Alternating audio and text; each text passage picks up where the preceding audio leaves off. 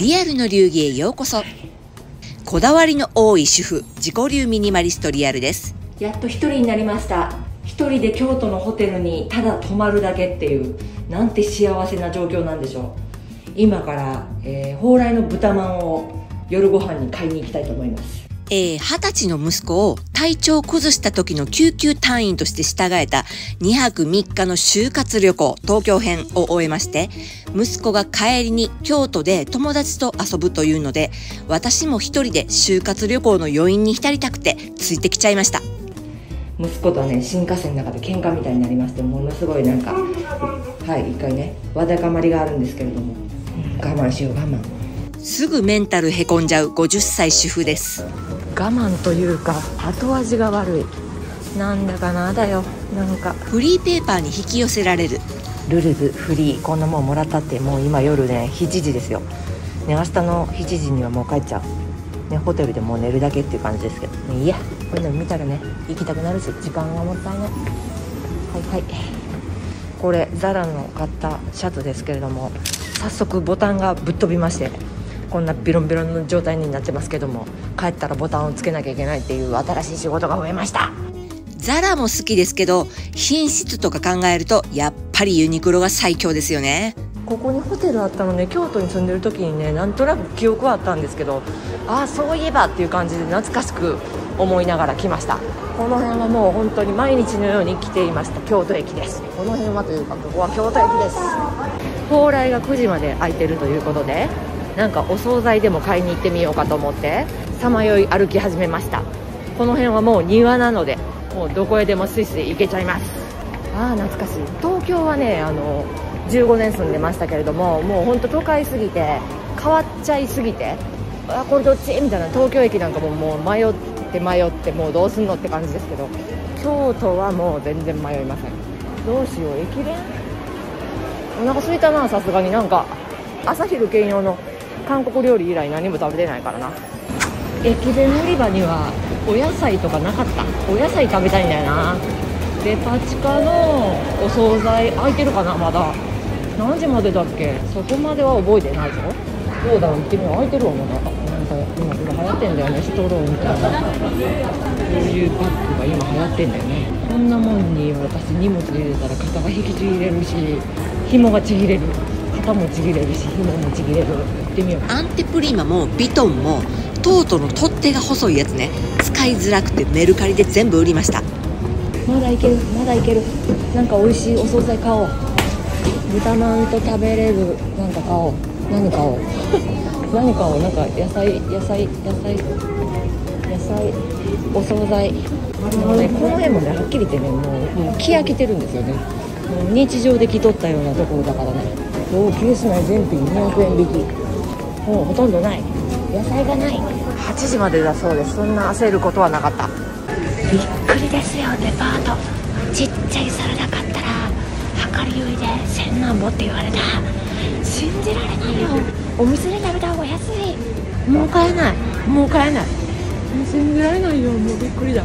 豚まんとこのサラダでいいや。絶対夜お腹すくやつやけどもういいなんかパンとかもあるけど。珍しくとにかく早く部屋に戻りたかったんです。しかもお箸が入ってない。お箸が入ってない。信じられない。高いのにそんくらい言わんでもつけて。551めっちゃ並んでんですけど。めっちゃ並んでんですけど。意地でも並ぶさ。551徳島にはないからね。これを食べる。京都で。京都で551を食べる。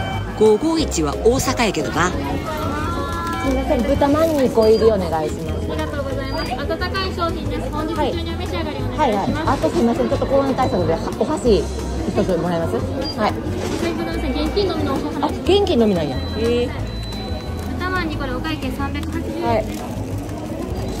この日本でキャッシュレスは無理やと思う。田舎だけじゃない。はいそれでは一人のホテルプラン何？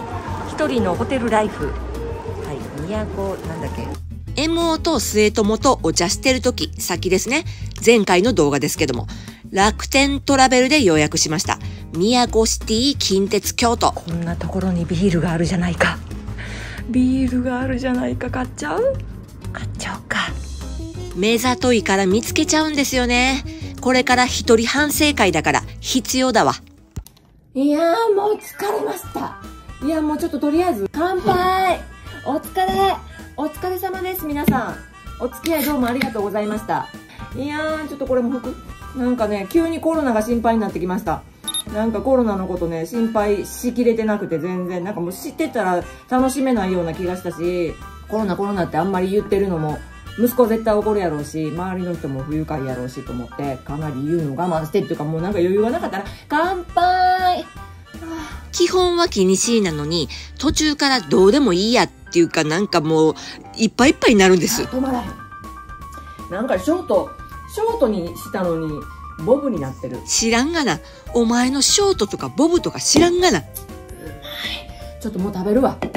食べながら、あのー反省会、一人反省会。高級サラダと、これなんかもうドレッシングめっちゃついてるし。こんなんいらんねん、ドレッシング。なんでサラダさ、デパートのサラダってこんな高いんでしょうね。見てください、これ。めっちゃ美味しそうでしょなんかね、デパート行っても、あんまりね、買いたいと思うもんがないんですよ、私。もうかなりね、うるさいんで、いろいろ、あの、好みが。これは惹かれて飛びついて買ったんですよ。いちじくと塩豆腐のサラダ。590円とかって書いてあったから、もう別に飛びついて買ったらね。100g590 いくらで、測ったら190何グラムで1000いくらやったんですよ。こんなちっちゃいサラダですよ。1000いくら。信じられん。高いから。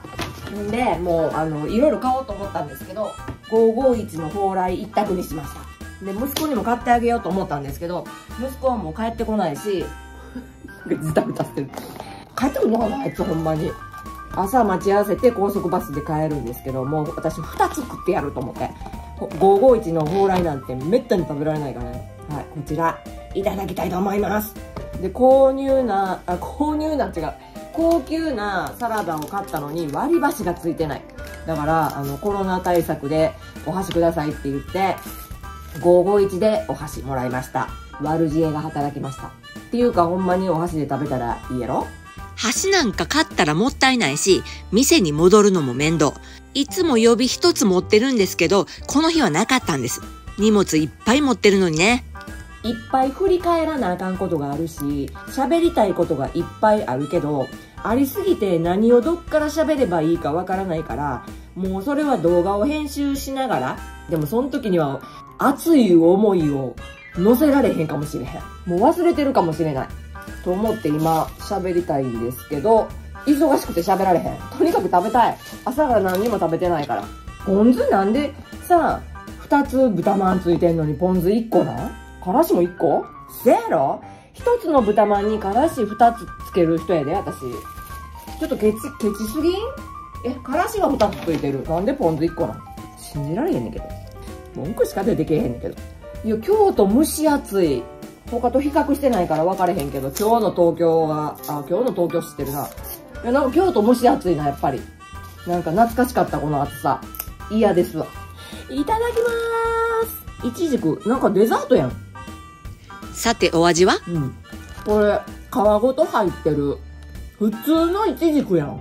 しかもあんまり美味しくない。あかん。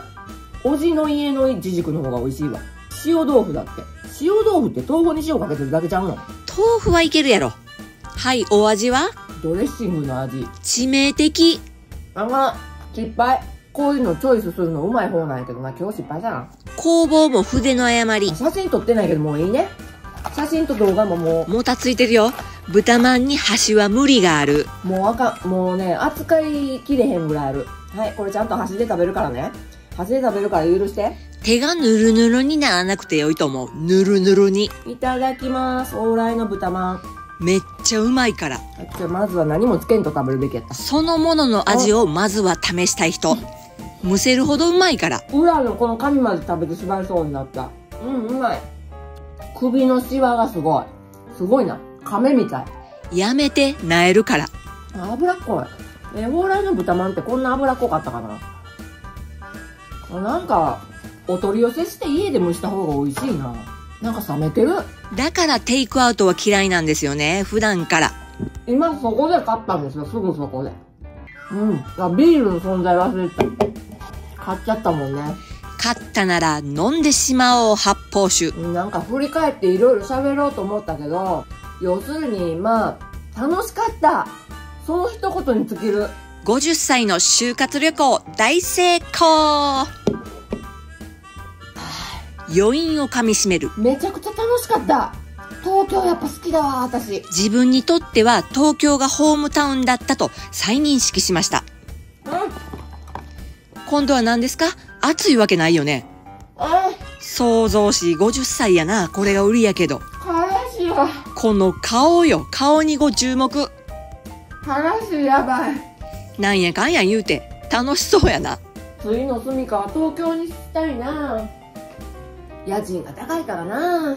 そもそも東京に住んでたんですけれども、震災の件と家賃と物価が高いってことで、もう東京はないって思ってたんですよね。でもやっぱり東京は大好きなんですよね。ちょっと LINE チェックしよう。なんか今日はこのホテルで私がくつろぐ様を動画に収めたいと思います。初めての YouTube 旅行違うな。初めての YouTube ステイ。そう、ホテルで撮影と編集をする。くつろぐというか、うまっ。ホテルで缶詰になって制作する作家気分ですよ。うまっ。こうして動画を撮りながら皆様と一緒に、一人じゃないですね。皆様と一緒に打ち上げして、しっかりくつろいでます。ある意味ね。あ、ほんま美味しくないこれ。美味しくないけどもったいないから食べるよ。だって1000円超えてんだからさ。体にいいでしょ。これ。おそらく。ナッツも入ってるよ、くるみ。豆腐と、この葉っぱと、くるみは美味しいけど、このイチジクほんま美味しくない。味がない。甘くない。皮が硬いし。大失敗や。うん。だから、ゆっくり食べて、ゆっくり。ゆっくり食べて。味わって。な、ほんま味ないわ。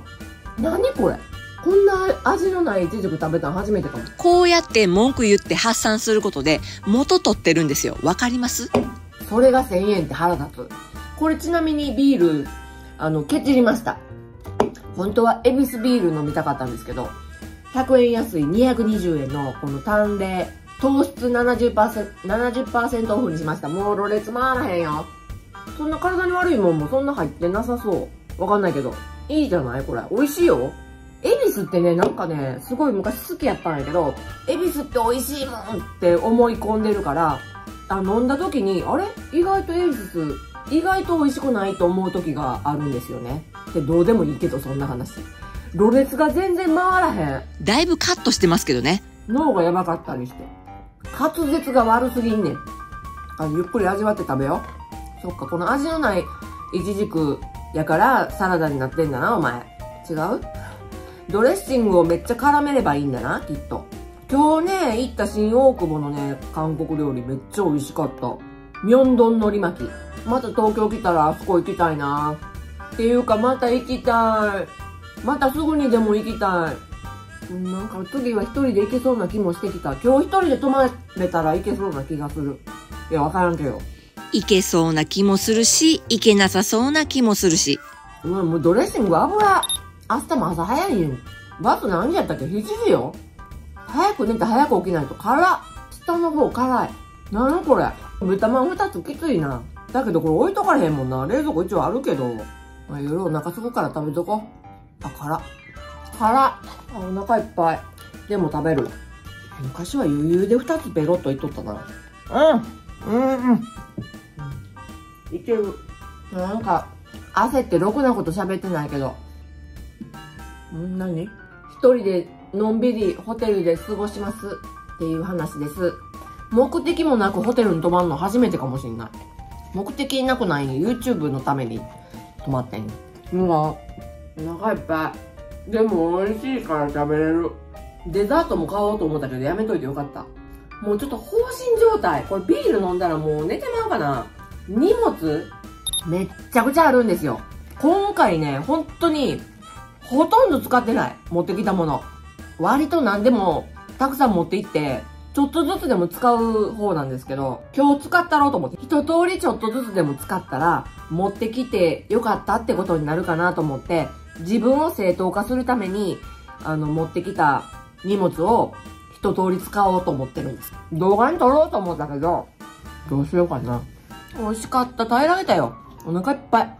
お腹痛くなったりしてね。もう本当の最終日やから少しくらいいいんじゃない？気にしなくて。ごちそうさま。文句言いながらも全部綺麗に平らげましたよ。完食ですから。これがリアル。知らん。もう、大丈夫。なんかわからんけど、大丈夫。よし、片付ける。片付けるぞ、こう、超高速で。片付けてちょっとくつろぎたい。メガネがいる、メガネ。よし。じゃあ、同じ種類のものは同じ場所に。リアルの片付けは、同じ種類のものは同じ場所にです。書類、書類は書類で。レシート。レシートは貯め始めたけどやめたいんですよね。薬。作業は手当たり次第です。手に取ったものを順番に片付けていきます。LINE がしょっちゅう来るんですけど、なるべく見ないようにします。後でのお楽しみですね。これは良い先延ばし。薬はいろんなのあるんですけど、これは消化剤を飲んでるみたいですね。散らかった荷物の中から水を探せ。カバン同士も同じ場所に置いていきます。荒っぽいね。探しながら片付けは続けるというマルチタスクもすごい。なんか来てる。LINE はひっきりなしです。エンドレス LINE。こっから8倍速でいきますよ。高速お片付け。はい、薬を飲んで。と思ったら、何？入ってんの？これ。取れてる？入ってる ?YouTube がうまく撮れてるか急に不安になりましたこ。うか。はい、今度こそ高速。こっから死後はなしですよ。ただひたすら分類しています。これが楽しいんです。同じ種類のものは同じ場所にを繰り返してるんです。ものを定位置に収めていきます。これらの荷物はほぼ使ってないって言いましたけれども、割と普段から持っているものだったりします。私にしては旅行の荷物が少ないとある視聴者さんに言われましたけれども、旅先では忙しすぎて、いつも家でやってる工程を省いたりしてて、いつも必要でもいらなかったりするんですよね。むしろ普段より荷物が少なくても良いのではと思ったりしました。身軽に旅をするみたいなの憧れますよね。旅先ではこの作業を必ずしています。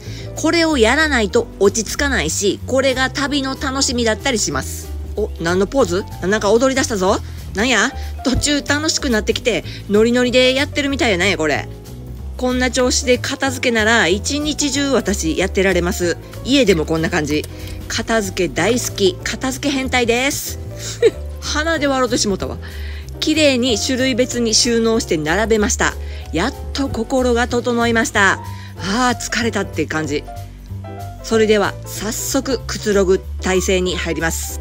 またスマホでね、LINE とか YouTube の編集とかしてるんですけど、この調子でスマホであれこれやってると、もうそれだけで終わりになっちゃいそうなので、なんかずっと黙ってたから、そろそろ話したくもなってきたので、皆さん聞いてください。はい。完全にリラックスモードの、はい、リアルがおしゃべりいたします。はい、綺麗に並んでおります。整理整頓、大好き。めっちゃくちゃ楽しいよ。ある意味趣味。一人のホテルの夜を満喫中です。今日持ってきたものほぼ使いました。歯磨きのフロスとかね。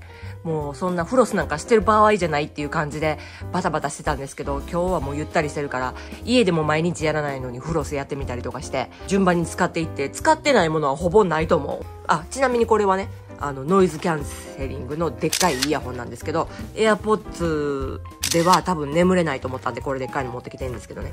まあ、これを枕元に置いて、今からこの一番重たいこの書類とかノートとか、これをね、整理してね、ちょっとでもね、こう破って捨てていってね、1g でも 2g でも減らしていこうと思って、今からこれをやります。と言ってもね、今、えーもう10時や。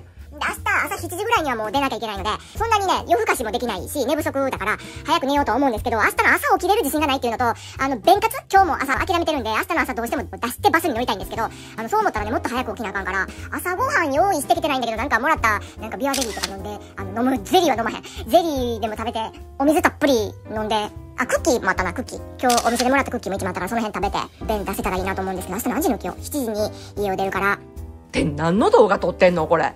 今からこれをやりますっていう報告でした。手帳の整理もなかなかできないし、どんどん溜まっていきます。業界では全捨てとかおっしゃるんですけど、手帳とかね、メモとか日記とか。私は何度となくこれらの記録に助けられてきたんですよ。息子のアレルギーだったり、母の介護のことだったりね。なので、捨てるのは嫌なんですけど、もっとスマートな整理の方法ないかなって模索しております。なんかここでライブ配信したいかも。そうよね。ここでやったら楽しいかもしれへんけど、一人の夜なんで、家ではできないような、せっかく持ってきてるから、手帳のね、整理を今からしたいと思うんですけれども。で、この3日間振り返ってどうでしたか？良かったです。家までたどり着かないと、えー、旅が成功したかどうかっていうのはね、判定できないんですけれども、予定は全てできましたので、もっと行きたいところもあったし、もっと遊びたかったし、もっと喋りたかったし、もっと会いたい人もいたんですけど、欲を出したらキリがないので、あの、これをリハビリと思って、練習と思って、今度は息子なしで来てみるとかね。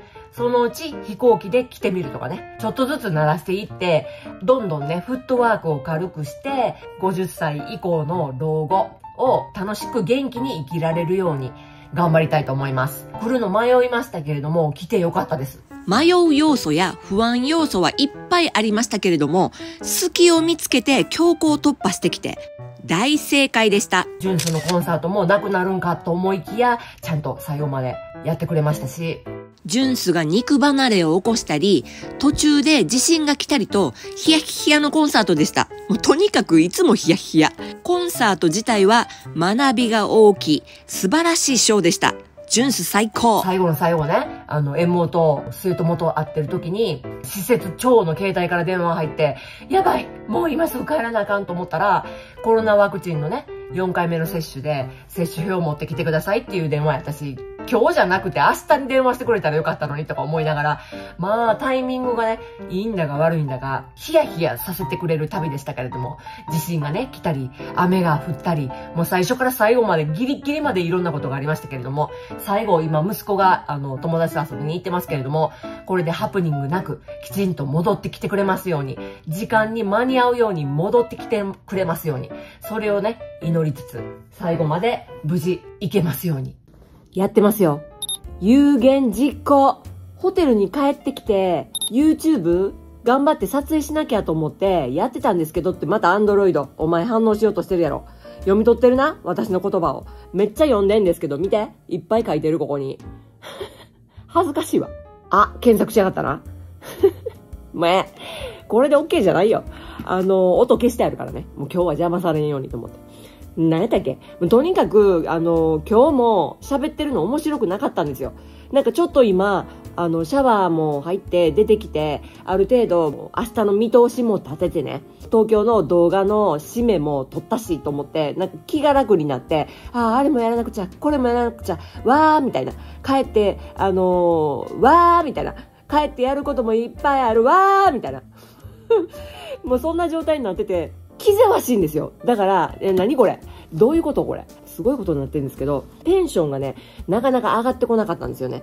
で、ちょっとあの YouTube ね、予約で投稿するようにしてたから、私が東京行ってる間も動画が2本ぐらい上がってると思うんですけど、それがね、視聴回数がむんぬすごい、むんぬすごい悪くてびっ くりするくらいコメントが少なくて、コメント返しがそ、それなのにできてなくて、それも気になってんですけど、もうなんかいろんなことが気になってんです。だからどうしようとか思ってたんですけど、吹っ切れたっていうか、なんか、なんかいろいろこうやって、あとはもうある程度片付けて、寝て、明日起きてすっ飛んで、もう化粧もせんと、あの、すっ飛んで帰ろうと思ってるんで、あかん、また、またおかしなってきた。いいもうそんなしょうもないことはどうでもいい。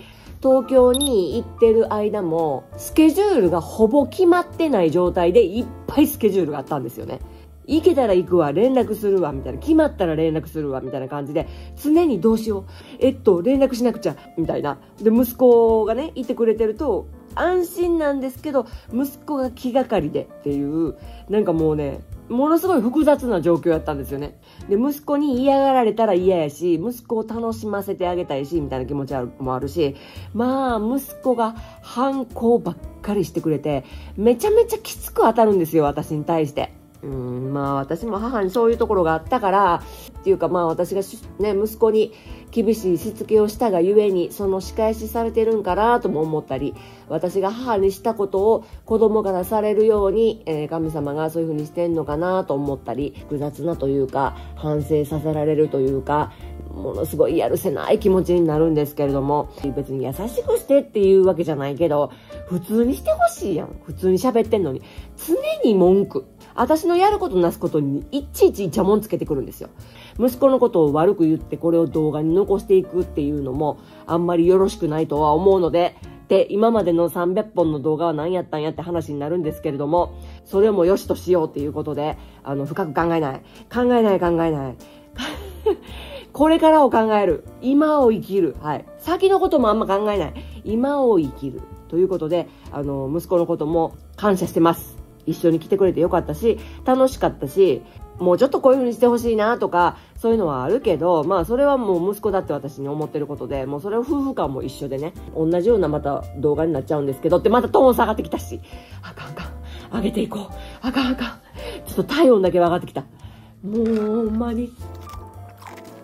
何が言いたいかというと、動画の手ぶれとか、音の質とか、あと画角とか、お友達と再会した時も、再会したシーンじゃなくって、もうなんかカメラもたもたしてる時に、ああ、久しぶりみたいなって、ああ、ちょっとスマホやってんねん今みたいな感じで。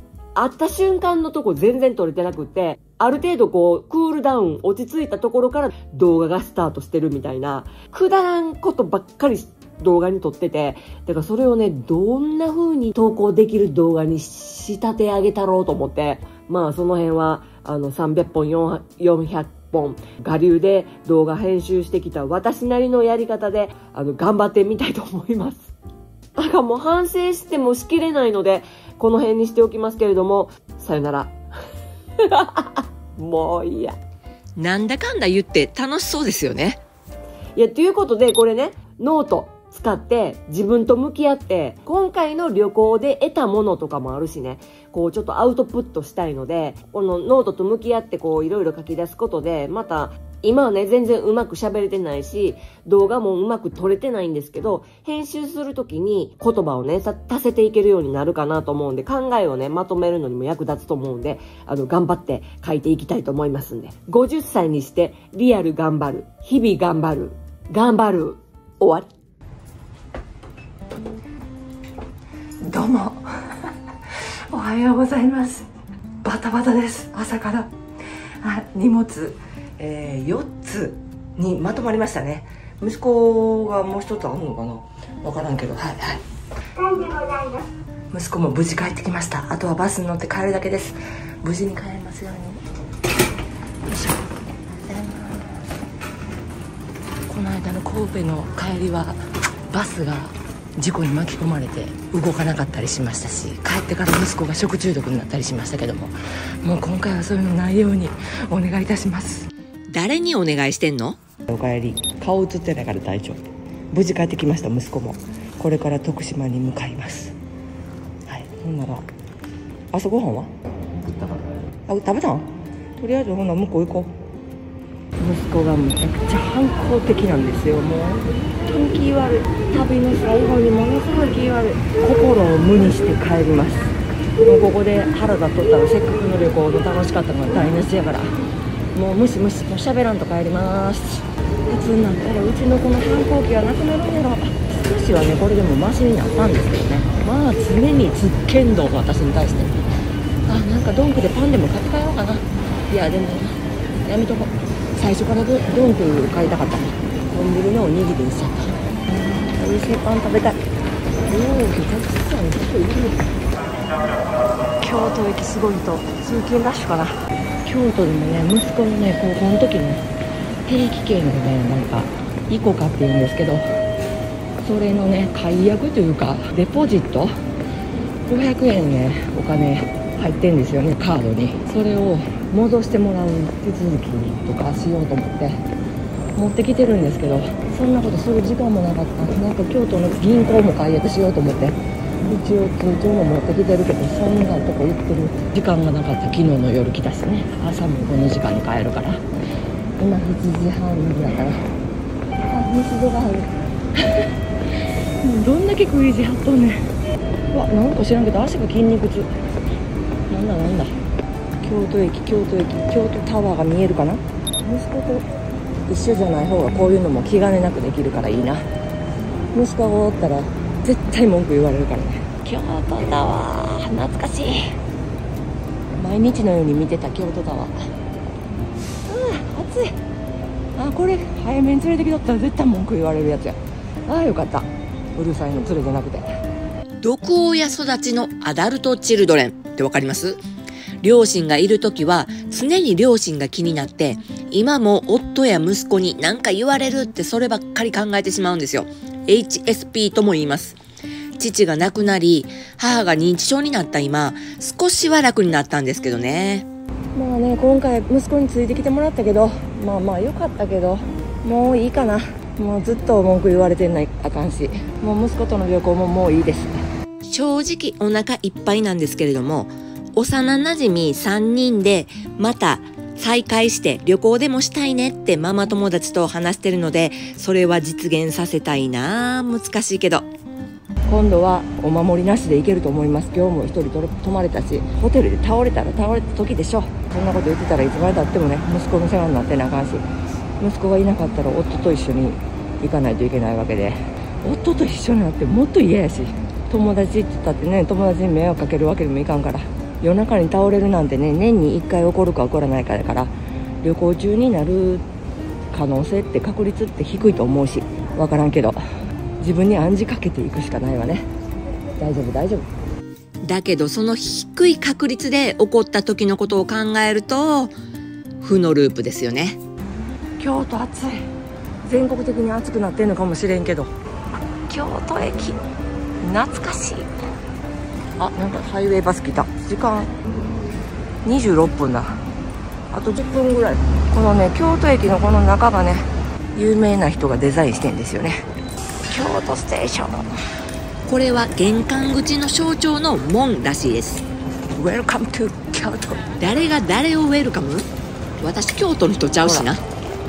この天井は京都の街の5番の目をイメージしてるらしいです。なんか外国の空港みたいって思うのは私の感想です。ほらいい感じでしょ？懐かしい。バイバイ京都。京都駅自体に見どころいっぱいありますよ。まあ京都はまた来ることあるかどうかわからんけど関西また来ます。じいちゃんの墓参りで。リアルの旅はこれにて終了。50歳の挑戦はまだまだ続く。交互期待今回の3泊4日今日の分も含めましてはい就活旅行はこれにて終了です。いかがでしたでしょうか？50歳の挑戦はまだまだ続きますよ。日常を完全に忘れてただやりたいことだけをやる旅。このタイミングでやれたこと幸せでした。もう人生も半分過ぎたらチャンスは逃したらもうやってこない。それくらいの勢いで思い切っても良いのでは？と今回思いました親友の言葉を借りるとこんな動画プライベートすぎて誰が見んねんって感じですけど皆様の何かしらになれたら嬉しいです最後に今回の旅に協力してくれた理解ある親友たち、母の救急隊員として付き合ってくれた自由な息子、そして理解ある愛すべき私のモラオですよ。監視がないとも言いますけどね。それから、施設で頑張ってくれている母。最後までご視聴くださった皆々様に心より感謝いたします。ありがとうございました。本日もご視聴ありがとうございましたチャンネル登録グッドボタンコメントもお願いします Twitter インスタもやってますそれではまたサブチャンネル、リアルのしゃべりの方もご登録お待ちしています。ライブもやってるよ。